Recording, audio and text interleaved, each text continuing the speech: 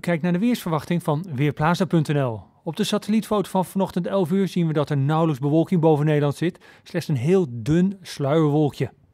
Vanavond en vannacht trekken er ook een paar wolken over Nederland. Ook dat zijn vaak dunne wolken. Het is dus vaak helder ook en daardoor kan het flink afkoelen. Vanavond al 6 tot 9 graden en in de nachtelijke uren wordt het echt koud. Op sommige plaatsen komt het kwik zelfs in de buurt van het vriespunt.